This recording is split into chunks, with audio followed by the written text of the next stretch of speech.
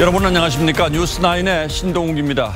김정은 위원장의 동생인 김여정 노동당 제1부부장이 오늘 느닷없이 나흘 전 판문점 부근에서 살포된 대북 전단을 문제 삼는 담화문을 냈습니다. 우리 정부가 적절한 조치를 취하지 않으면 9.19 군사 합의를 파기할 수 있다고 경고했습니다. 개성공단의 완전 폐쇄나 남북 연락사무소 문을 닫을 수도 있다고 했습니다. 이를 두고 도발의 명분 쌓기란 해석도 있고 대화 메시지란 분석도 있습니다.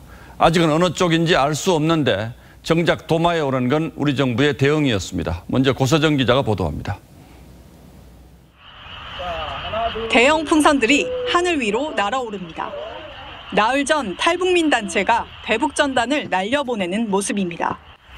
김여정 제1부부장이 문제 삼은 게 바로 거기에 담긴 대북 전단입니다.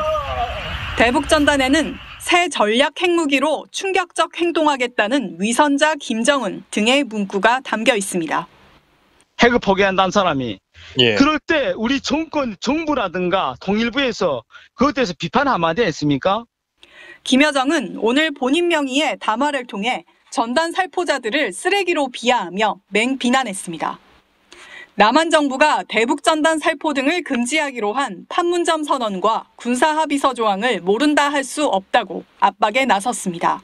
이를 방치한다면 금강산 관광 폐지, 개성공단의 완전 철거, 남북 공동연락사무소 폐쇄, 9.19 군사 합의를 파기할 수 있다고 경고했습니다.